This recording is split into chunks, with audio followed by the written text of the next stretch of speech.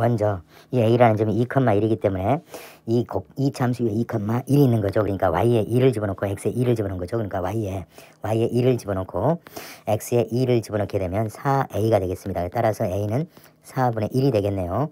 그 다음에 AP의 기울기가 AP의 기울기가 AP의 기울기가 2가 된다 그랬어요. 그러면 이 끝점을 연결한 기울기나 여기 가운데 있는 점, 이 가운데 2와 P의 가운데 있는 점, X좌표가 가운데 있는 점, 이 자, 점이 가운데 있는 점이 아니라 이 X의 값과 이 PX 값의 가운데 있는 값의 기울기가 바로 어, 2가 되는 걸 찾는 거죠, 지금. 그래서 이 곡선의 기울기니까 Y는 a가 4분의 1 x 제곱이 되죠. 그러면 기울기는 이거 미분 때리게 되면 2분의 1 x가 되겠어요.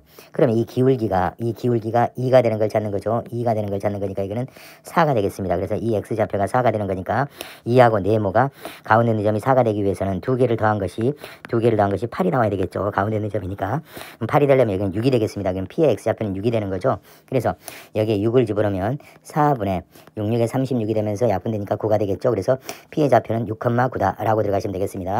이 끝점의 기울기하고 이 x좌표의 가운데 있는 점의 기울기는 서로 똑같다. 이거 외워두시는 게 좋겠어요.